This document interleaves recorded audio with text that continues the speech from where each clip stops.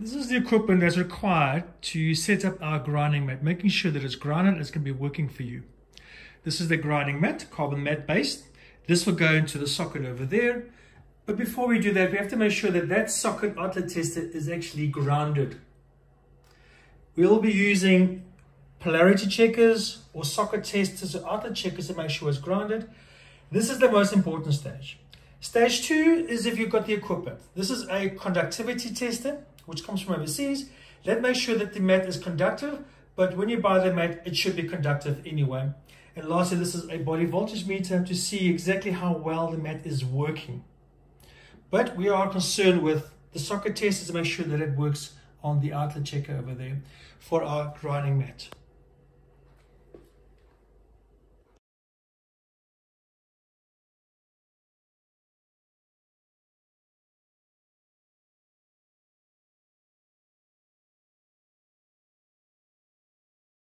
So stage one is we have to test these, we have to test it, the electrical outlet.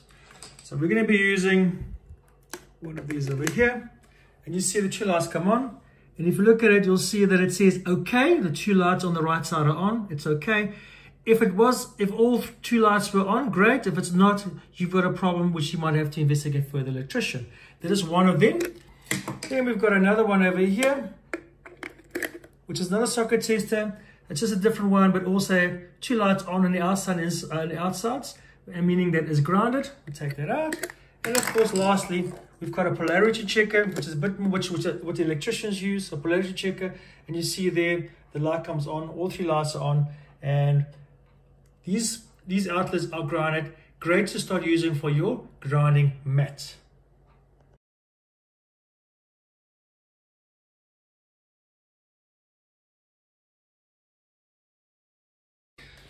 Now grounding mat is set up. The grounding mat now connected via a cord all the way through into electrical output socket. It's now going to harness electrons from outside Earth, from outside, through the grounding mat into your body. But first you have to make sure that it's conducting well. Therefore, we're going to use a conductivity tester, which is also connected. We know this plug is working. It's also connected.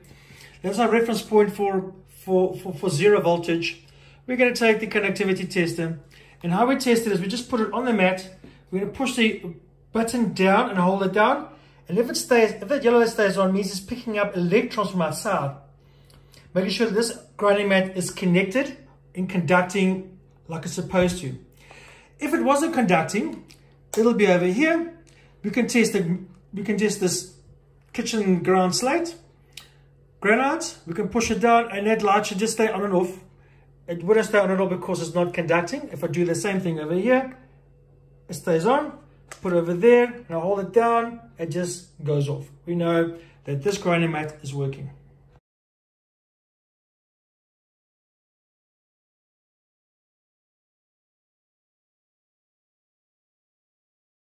So level 3 requires an AC body voltage meter. So we can actually see how effective the grounding mat is actually working.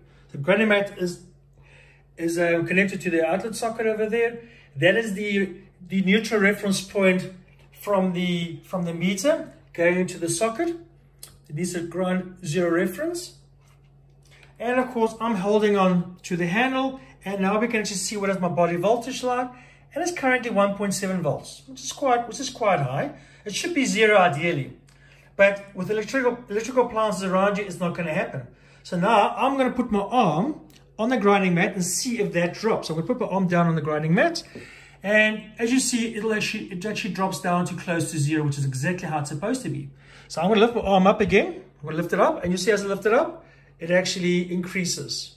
So I'll put my arm down again on a mat and the body voltage drops down to close to zero. And that's exactly how it's supposed to be. So the, this test actually gives you an indication of how well the mat is working.